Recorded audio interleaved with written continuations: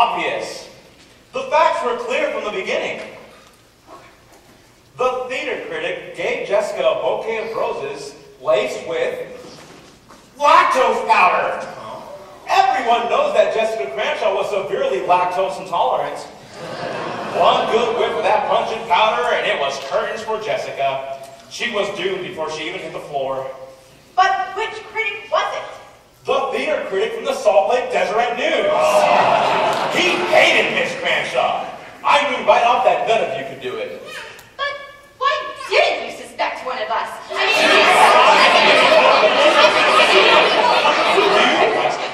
Never. People like you are doing the most fulfilling thing a person could ever hope to do. You're, you're, you're well, you're all show people.